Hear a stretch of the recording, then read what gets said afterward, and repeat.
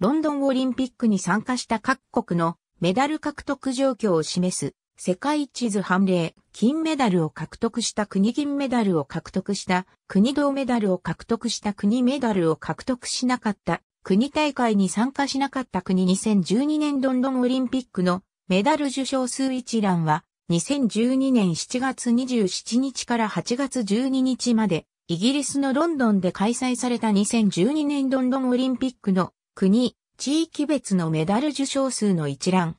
この大会の26競技、302種目に約1万500人の選手が参加した。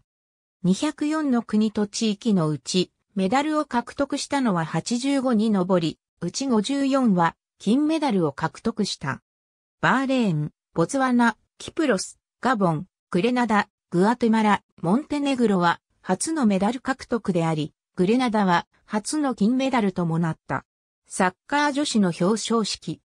左からカナダ、アメリカ、日本以下は国際オリンピック委員会の発表に基づいた2012年ロンドンオリンピックのメダル受賞数一覧である。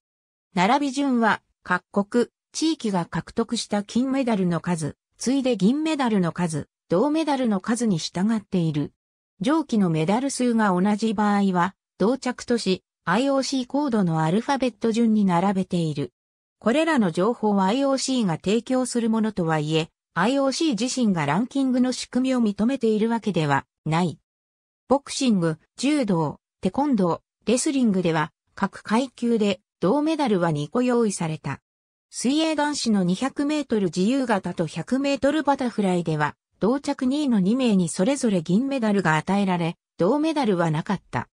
自転車男子競輪では同着3位の2名にそれぞれ銅メダルが与えられ、陸上男子総高跳びでは、同着3位の3名にそれぞれ銅メダルが与えられた。ありがとうございます。